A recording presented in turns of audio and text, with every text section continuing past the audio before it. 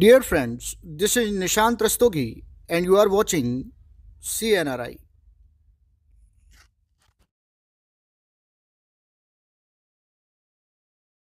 dear friends आज मैं आपको इस चैनल के बारे में बताना चाह रहा हूँ।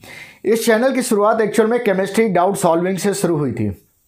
स्टूडेंट को बहुत सारे डाउट आ रहे थे और बुक्स में उनको ऑथेंटिक डाउट करेक्शन नहीं मिल पा रहा था ऑथेंटिक आंसर नहीं मिल पा रहा था और साथ ही साथ मिनिमम टाइम में मैक्सिमम स्टडी करनी थी। तो एक एक कॉन्सेप्ट लेके कि ऑथेंटिक नॉलेज देनी है और मिनिमम टाइम में मैक्सिमम स्टडी करानी है, इस कॉन्सेप्ट के साथ इस चैनल की शुरुआत हुई थी। बाद में स्टूडेंट की डिमांड आने लगी कि सर ये वीडियो वो वीडियो तो फिर डिफरेंट डोमेन के और डिफरेंट सब्जेक्ट के कई सारे वीडियो को इसमें अपलोड किया गया। जो कि क्लास फिफ्थ से स्टार्ट हैं।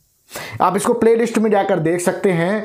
तमाम वीडियो हिंदी मीडियम के हों चाहे वो इंग्लिश मीडियम के हों और आ, किसी भी लेवल के हों लगभग सारे लेवल के वीडियो आपको इस चैनल पर मिल जाएँगे। अभी तक लगभग 1800 प्लस यानी 1800 प्लस वीडियो जो है वो इस चैनल पर अपलोड किए जा चुके हुए हैं जो कि डिफरेंट डोमेन के हैं। आप एक बार प्ले लिस्ट सर्च करेंगे। आई होप कि आपके काम के वीडियो यहाँ पर मिल जाएँगे। आपका प्यार लगातार मुझे मिल रहा है और ये आगे भी मिलते रहना चाहिए क्योंकि ये मोटिवेशन के लिए बहुत ज़्यादा ज़रूरी है। बट अभी के डेटा के हिसाब से, आज के डेटा के हिसाब से अगर मैं देखूँ तो लगभग 75 परसेंट व्यूअर्स जो हैं, वो इस चैनल के नॉन सब्सक्राइबर हैं। जिन्होंने सब्सक्राइब नहीं किया है, केवल 25 परसेंट व्यूअर्स ने ही सब्सक्राइब किया हुआ इस चैनल को। तो भाई, सब्सक्राइब करना बहुत ज़रूरी है और अगर आपका कोई भी कमेंट्स है, कोई सजेशन है तो वो मेरे लिए बहुत ज़्यादा ज़रूरी है। तो प्लीज़ इसको करते रहिए, सब्सक्राइब करते रहिए लाइक करते रहिए शेयर करते रहिए कमेंट्स करते रहिए। आप भी मोटिवेटेड रहिए और मुझे भी मोटिवेटेड करते रहिए। बस यही आशा के साथ वीडियो शुरू करते आइए अब इस क्वेश्चन को सॉल्व करते हैं। क्वेश्चन आपसे कह रहा है कि the number of sodium atoms in two moles of sodium ferrocyanide is option A twelve into ten part twenty three B है twenty six into ten part twenty three C thirty four into ten part twenty three और D है forty eight into ten part twenty three तो सबसे पहले तो हमें sodium फेरोसाइडाइड का formula पता होना चाहिए। तो सोडियम का तो नहीं पता है, लेकिन हमें पोटेशियम का पता रहता है जनरली क्योंकि हमको ये बहुत ज़्यादा इससे हम फैमिलियर रहते हैं। तो पोटेशियम फेरोसाइनाइड का फॉर्मूला पहले हम लिख लेते हैं। तो पोटेशियम फेरोसाइनाइड का फॉर्मूला आपको याद आ रहा है कि K four F E C N six होता है। ठीक है ना? तो अब यहाँ से हम इसको सोडियम फेरोसाइनाइड का भी लिख लेंगे। तो सोडियम फेरोसाइनाइड।